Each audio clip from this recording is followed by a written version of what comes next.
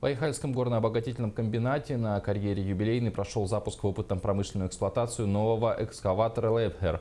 Машина этой модели стоимостью порядка 50 миллионов рублей не имеет аналогов и является единственной не только в алмаздобывающей компании, но и в России. Подробности в сюжете наших коллег.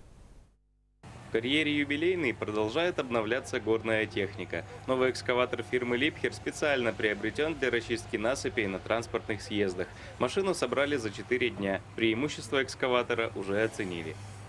Специально э, вот пятикубовую закупили для работы на наших бермах. У нас бермы по проекту по 17 метров ширина и долго выбирали по техническим характеристикам этот экскаватор и выбрали вот этот экскаватор.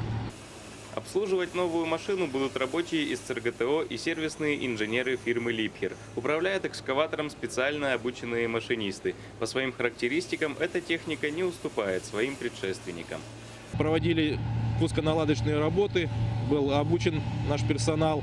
И на данный момент вот экскаватор уже работает, скажем так, ну не в полную силу, но уже а касаемо технических характеристик, объем ковша 5,6 метров кубических, мощность э, двигателя 544 лошадиные силы, э, вес ну, чуть больше 100 тонн, ну а если конкретнее 104 тонны 400 килограмм.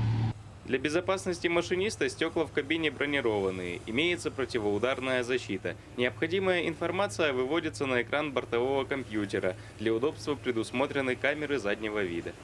Специально предусмотрено подогрев двигателя а, и удобство в кабине для оператора. Ну, в принципе, отличная техника. Экскаватор экономичен и обладает высокой производительностью. Расчистка путей теперь проходит значительно быстрее. Новая техника позволит коллективу карьера юбилейный более эффективно выполнять поставленные задачи. Валерий Усманов, Александр Домонтович, телеканал «Алмазный край».